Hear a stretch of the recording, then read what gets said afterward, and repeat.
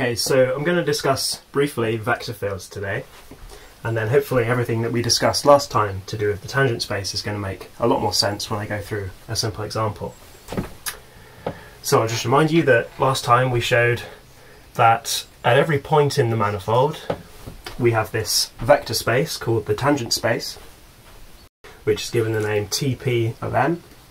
So this is the tangent space at the point P of our manifold. So if this is our manifold, at every point in the manifold there exists a vector space, a tangent space, and we kind of saw how we constructed this space by considering any kind of smooth curve that we can draw through the particular point, and then the tangents to these curves produce the tangent vectors. So all of that discussion was perfectly valid. However, the tangent space that we constructed is only at a single point.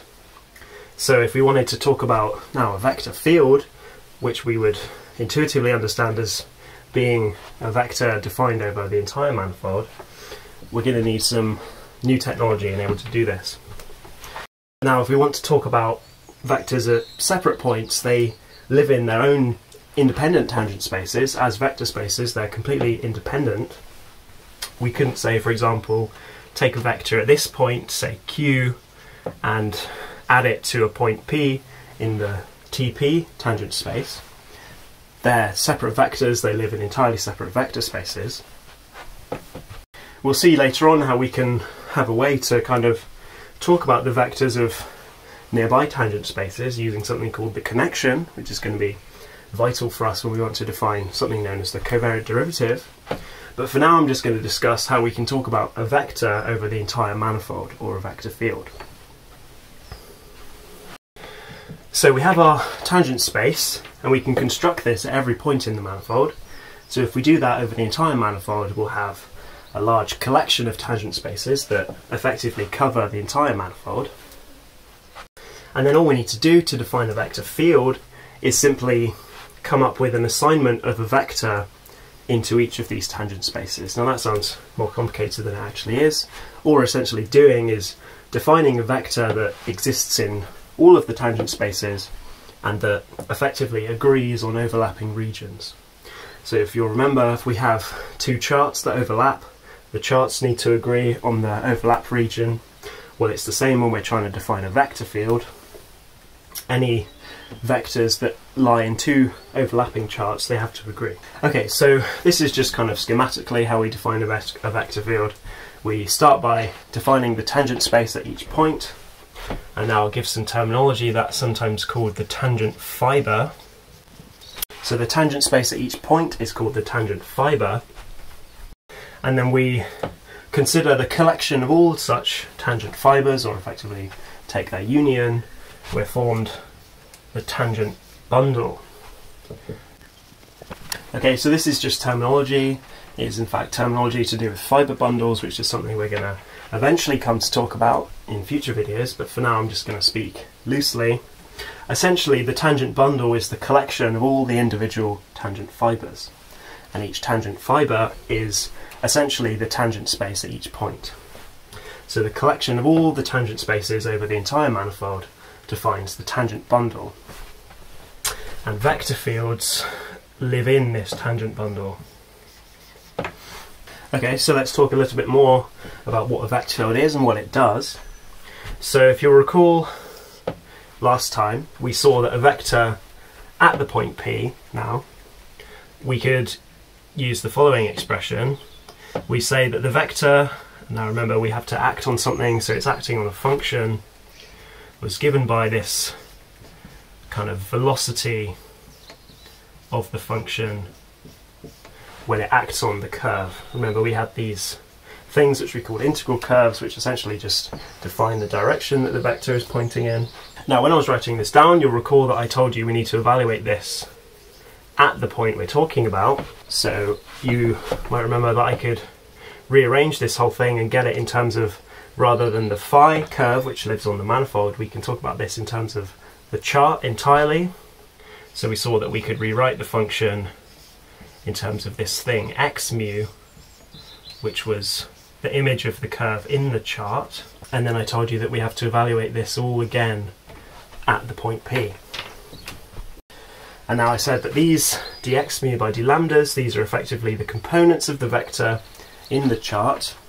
And then this df by dx mu, this is the, the basis part of the vector which acts on the function. So when I was writing all that down, this was all okay, but I probably forgot to stress that all of this is happening at the single point P. Now, to make the extension or the generalization to vector fields, all we need to do is just stop evaluating at the point P and consider the vector over the entire manifold. So if I really wanted to be completely explicit here, I should have written the vector is acting on the function at the point P. So rather than eating an entire function, it's just eating the function evaluated at P. Okay, so then essentially the vector at the point will map the function evaluated at the point, which is just going to be a single number, and it's going to return a, a d tuple of real numbers or just a, a vector. And now this is all at the single point, whereas if we now consider the vector field acting on the entire function, so we feed the entire function into what's now a vector field, we essentially get what the vector would be at every possible point in the manifold. So I'll just kind of quickly summarize that then. A vector by itself is something which lives in the tangent space or the tangent fibre. This exists at a single point and it maps essentially a function evaluated at that single point into a vector or just a, a d tuple of real numbers if our manifold is d dimensional. Now rather than just talking about a single point, we could instead consider the whole manifold and we could evaluate rather than at the single point, we could evaluate the vector on the entire function. And now this is going to produce a whole set of vectors, which are going to be what we would think of as the vector field. So now we usually like to say that a vector field, I'm going to give it the name V, is now a map from C infinity of M. So it's mapping smooth functions on the manifold into smooth functions on the manifold. Whereas in contrast, a single vector mapped, so if I call that v subscript p now, that mapped a single kind of value of a function into just uh, a real d-dimensional vector. Whereas now we're going to be mapped into essentially a, a vector valued function which is defined over the whole manifold. And all we need to do to extend this general definition to a vector field is just stop evaluating at the point in question and consider the partial derivative basis as acting on the entire function. And now to do this, I kind of left implicit, but we're required that this coordinate is valid everywhere on the manifold, or it covers the whole manifold. If it doesn't cover the whole manifold, that's still okay.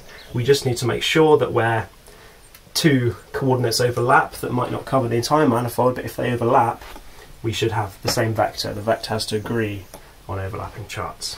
Okay, so that was just an overview of the terminology and just kind of generalizing from discussing vectors at a single point. Now I'll go through and show you a kind of simple example of how we would talk about a simple vector field.